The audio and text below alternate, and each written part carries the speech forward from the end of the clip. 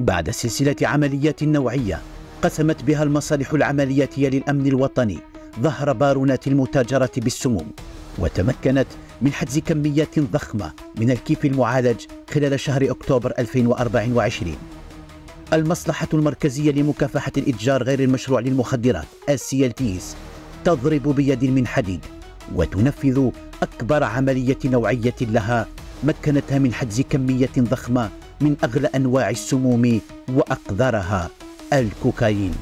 بعد عمل ميداني دام لأكثر من عشرة أشهر. للكشف عن أسلوبها وتحديد عناصرها واللحظة الفارقة للإطاحة بها. ومن هنا بدأت العملية. بتاريخ الرابع عشر أكتوبر 2024 عناصر الأسيلتيس ترصد عملية تحويل لشحنة من المخدرات من وسط البلاد إلى شرقها والوجهة تلويث مدينة عنابة التي ضرب عناصر تلك الشبكة لشبابها موعدا مع الموت وعلى أبواب بونا سقط أول عناصرها. المكلف برصد الحواجز الأمنية الكشاف الذي اكتشف وكشف عن المركبة التي تحمل المخدرات والذي لم يجد سائقها من ينبهه فوقع في المصيدة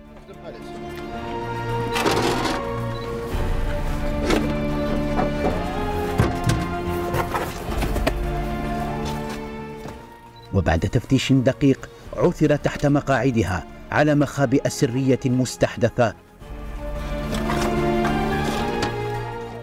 حملت قرابة تسع كيلوغرامات من الكوكايين. وصلت لذلك توجه عناصر الأسيلتيز إلى وسط عنابة لتوقيف المكلفين باستلام مركبة الكوكايين. ويتعلق الأمر بأحد المسبوقين قضائيا الذي أشرك شقيقته في العملية وجعلها ترافقه للتمويه.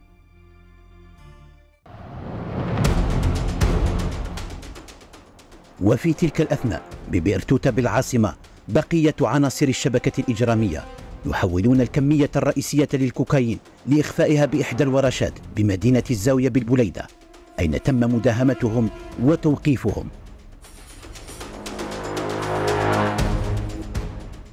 وبعد تفتيش المكان عثر داخل أحد الأفران على قرابة 65 كيلوغراما من الكوكايين.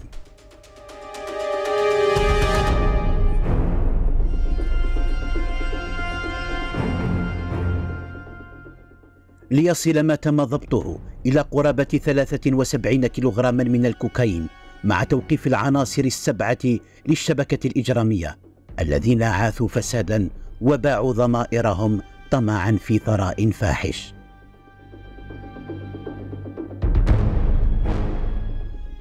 كما تم استرجاع تسع مركبات فاخرة لأفراد الشبكة استعملت في تنفيذ مخططاتهم الدنيئة والتي هي بدورها نتاج العائدات الإجرامية وأحد أساليب تبييض الأموال.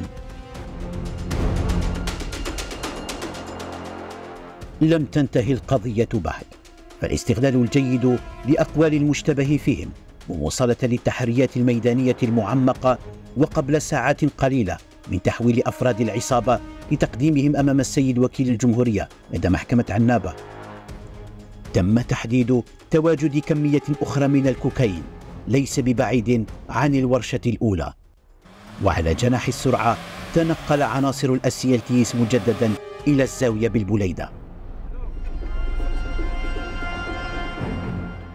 ويتعلق الأمر بورشة لصناعة قطع غيار السيارات اتخذ نشاطها للتمويه.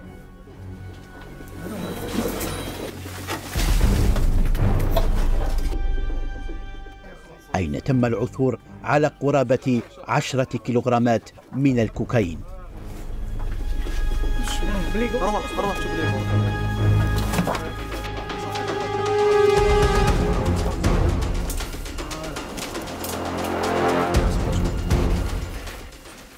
غير أن هذه الكمية مختلفة تماما عن سابقاتها فعوامل الامر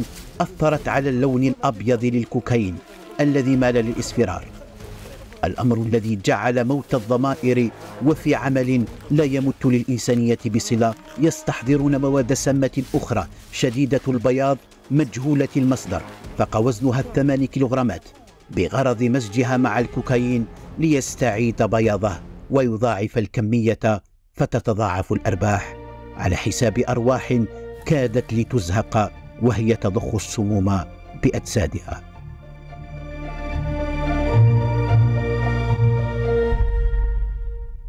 لتصبح الحصيلة الإجمالية للكوكايين 82 كيلوغراما ونصف مع ضبط أزيد من 8 كيلوغرامات من المستحضرات المشبوهة لتكون هذه أغلى طاولة تحمل ما كان ليدر على تلك المجموعة الإجرامية بأزيد من 180 مليار سنتيم.